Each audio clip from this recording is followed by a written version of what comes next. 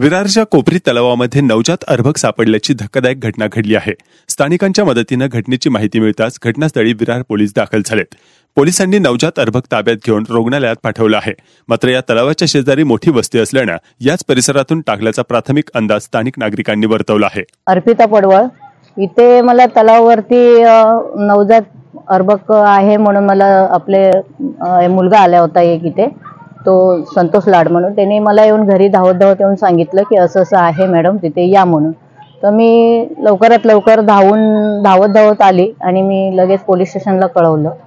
आणि तेव्हा पोलीसवाले आले इकडे आणि त्याची सर्व माहिती दिली त्यांना पोलिसांना.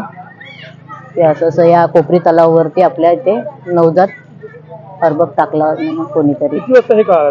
मला साडेसहाला कळालं. संध्याकाळी साडेसहाला.